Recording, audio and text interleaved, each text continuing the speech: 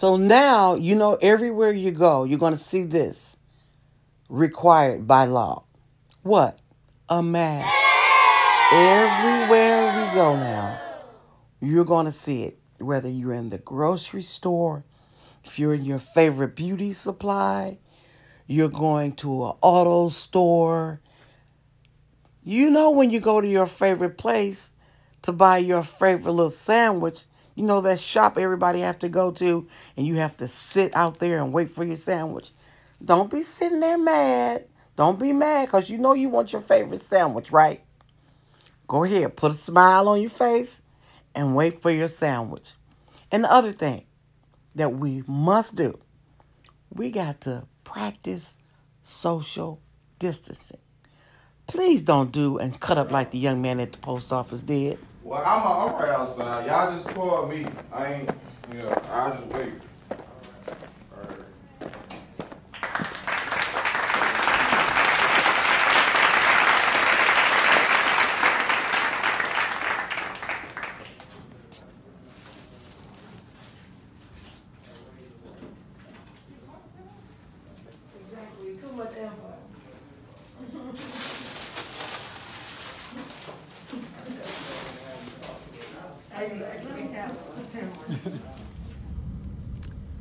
Well, you know, I went to the post office, and while I was in the post office trying to uh, mail a package, uh, a young man was in there. He was in line.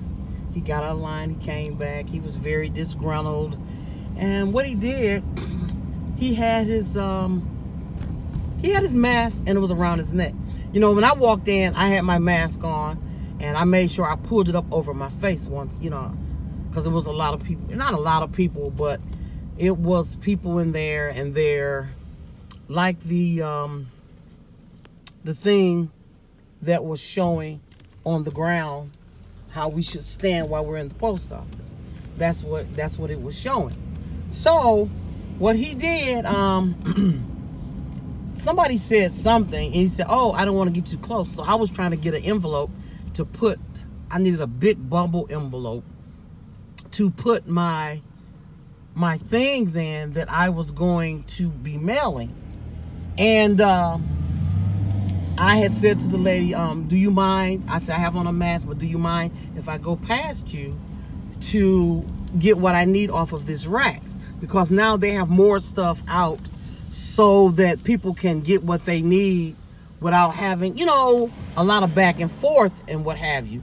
So um, I got my envelope and everything and and the lady said excuse me um because the guy did something. He he got kind of close and he didn't have his mask on so the lady said she said well um i'm 66 years old. I don't want to be getting sick.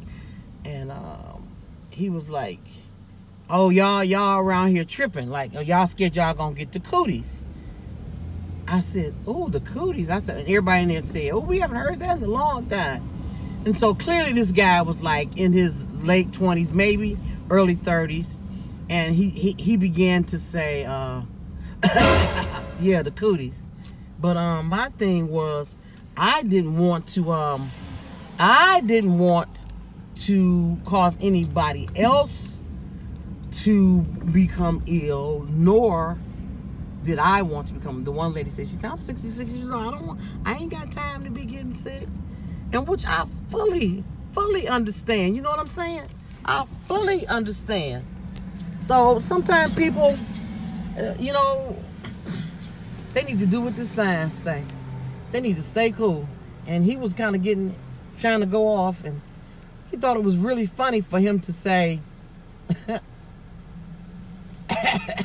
and cough, and didn't have his mask over his face inside the post office.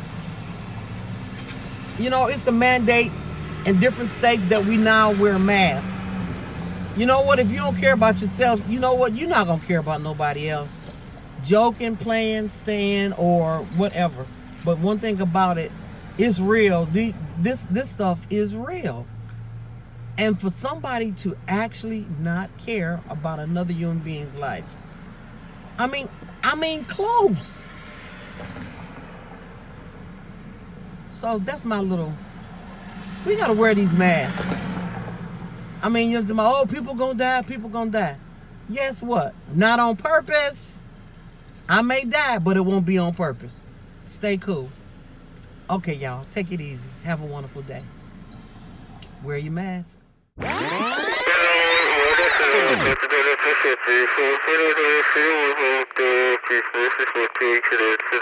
you.